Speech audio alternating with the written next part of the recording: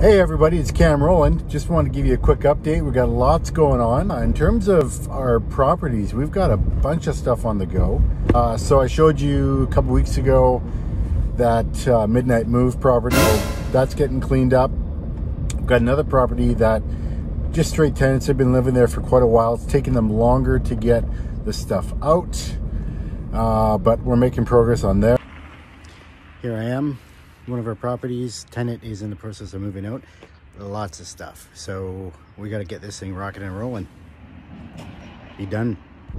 Also, we're getting some properties where we're getting them painted right now, new flooring, getting them ready for tenant buyers.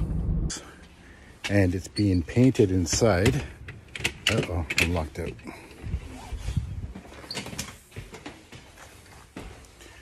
All right, so this has come along nice new paint all the way through. Uh, smells great in here compared to how it was. We're gonna do all new vinyl plank flooring in here. Uh, there's three bedrooms upstairs, a full bath. There's a half bath right there. And yeah, I just, I can't get over how great it smells in here compared to what it was. So awesome progress on this one. Keep moving. Our numbers on the tenant buyers in terms of uh, people interested is really good. I'll show you the numbers here, but we're super excited because uh, we're getting lots of interest. You know, we're getting uh, great response using Facebook Messenger.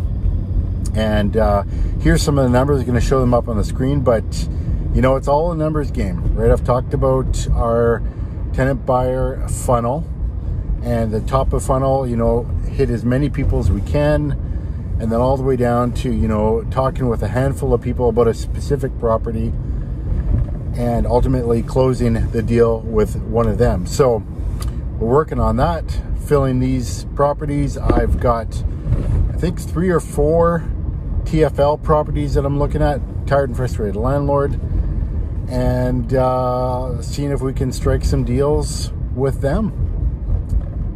So, are you taking action on your goals? I, I've talked to a number of people recently who are,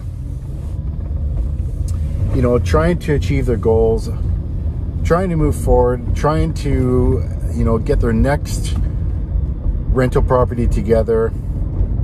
And even if it's, uh, you know, no money down deal. And so many people are just are nervous to take the next step, and mostly because of the unknown. And I get that. I've been there. You know, I still got projects where there's unknown now, but the thing is, you got to move forward on the information that you already have.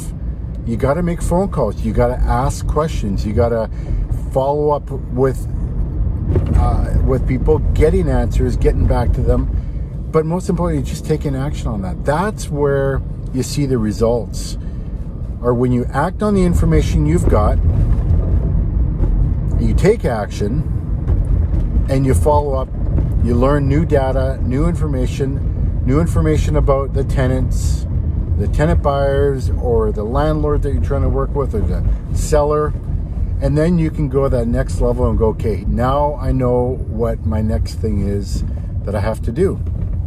And that's just really the game. It's about taking action. It's a numbers game right? And so that's what I encourage you to do today. Take action. Take action with what you know that you got to do.